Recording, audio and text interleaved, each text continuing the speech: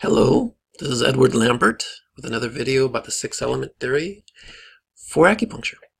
And this is the second part of a two series about the San Sanjiao meridian.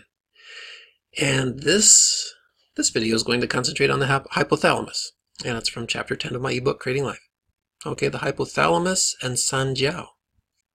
I just want to point out here to start out with that the corresponding organ to the Sanjiao meridian is the hypothalamus and the endocrine system. Okay, uh, let's start. The homeostasis of the internal environment is primarily regulated by the hypothalamus. The hypothalamus is the main center of control for homeostasis in the body. When one speaks of homeostasis, one has to speak of the hypothalamus. So there would have to be a connection between the hypothalamus and the seed meridians, Sanjiao and pericardium. The hypothalamus is traversed by the Sanjiao channel and the divergent channel of pericardium. So there is a direct connection the, from the hypothalamus to the seed meridians. Sanjiao transports primordial yuan qi through the homeostatic concentrations of the interstitial fluids. This is exactly what the hypothalamus does through its regulations of hormone concentrations in the blood plasma and interstitial fluids. In six element theory, the hypothalamus is the corresponding organ to the Sanjiao channel, like I said before. The hypothalamus has exactly the same functions as Sanjiao. These functions are harmonize all three jiaos and all organs of the body by way of the water passages. The hypothalamus harmonizes all parts and organs through hormonal control. Primordial power harmonizes whatever is permeated by its presence. Sanjiao permeates all parts of the body the way that primordial power permeated the primordial soup. With this complete permeation, all parts can be harmonized. Second function, to perform qi transformation around the body. The homeostatic synergy of yuan qi transforms all qi throughout the, the body-mind. The synergy of yuan qi transforms and empowers activity in all the meridians. The hypothalamus regulates metabolism and bodily functions. Third function, to transport yuan qi and fluids through the cou of the body. The hypothalamus makes adjustments to the interstitial fluids, which flow through the co-spaces between the cells. The adjustments produce the homeostatic synergy of yuan qi. Thus, the hypothalamus produces the yuan qi that flows in the interstitial fluids. By itself, the hypothalamus monitors and regulates a wide variety of physiological and emotional activities. There's a long list here.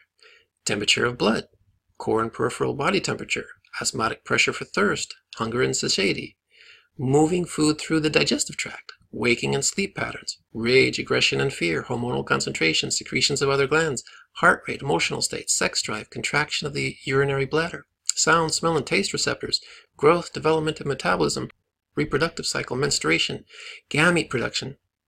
Imagine everything that the hypothalamus is touching and regulating very important systems from digestive to circulatory to sexual sexual reproduction.